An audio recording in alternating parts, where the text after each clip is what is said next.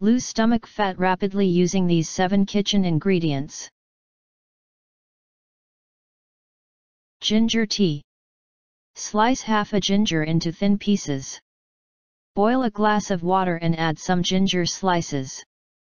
Allow it to steep for 10 minutes, strain water to get rid of the ginger.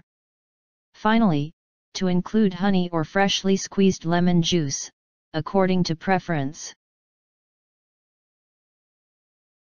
Garlic.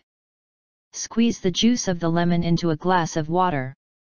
Chew 3 garlic cloves and drink the lemon water. Follow this routine every day before eating anything for the best results. Apple cider vinegar. To glass water, add 1 TWO teaspoons of ACV. Drink this before you eat. Mint. Blend together some mint leaves and coriander leaves. Now squeeze some fresh lemon juice onto it to create a smooth paste. Give a pinch of salt for this paste. You could have this chutney together with your roti or idli. Aloe vera juice. Combine 2 teaspoons aloe vera juice with 1 teaspoon of cumin powder. Now add this combination to 1 half glass of warm water.